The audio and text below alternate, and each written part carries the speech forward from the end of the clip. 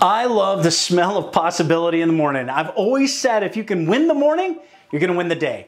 My name is Jonathan Richards. I'm the lead trainer and marketing rep here at ABOR. And today I wanna give you four tasks to add to your morning routine to help you be successful. I call it the MLS morning routine. Here we go with number one, hot sheets. Guys, if you're not using hot sheets on your dashboard inside of Matrix, you absolutely should. If you need to know how to do that, go check out our MLS quick tip video on hot sheets where I instruct you on how to do just that. Number two, client portal visits. Check those daily. Why? Because most of your clients are gonna visit your portal either late at night or early morning. Most of my clientele when I was selling real estate visited between 2 and 4 a.m. So check those, add those to your contacts so that you can call them with any follow-up questions or potentially set some appointments to go see some houses. Number three and number four, very important and somewhat go together. But number three first, pull statistics, guys. Numbers, numbers, numbers. Know them. Know your areas and what areas of town you're working. This will allow you to have educated conversations throughout the day with potential clients that may be calling you.